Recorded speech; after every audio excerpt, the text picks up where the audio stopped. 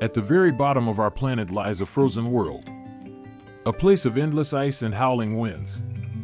This is Antarctica, the coldest, windiest, and most remote land on Earth. Here, temperatures can fall below minus 89 degrees Celsius, cold enough to freeze steel and silence sound. Even the sun can't break this frost. Antarctica remains locked in an eternal winter, a realm untouched by time. Beneath the frozen surface, ancient secrets sleep. Layers of rock and ice, holding stories millions of years old. Iron, coal, oil, untouched and frozen in silence. Antarctica is a desert, the driest place on Earth. No rain. Only wind, snow, and shadows drifting over ice. Beneath kilometers of ice lies a hidden ocean.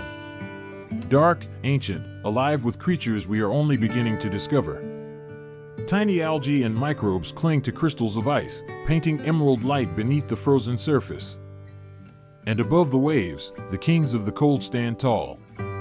Emperor penguins march through the storm, shielding their chicks from the wind. Beneath the ice, whales glide through glowing blue depths. This gentle giants sing songs older than humankind. Above it all, seabirds circle endlessly.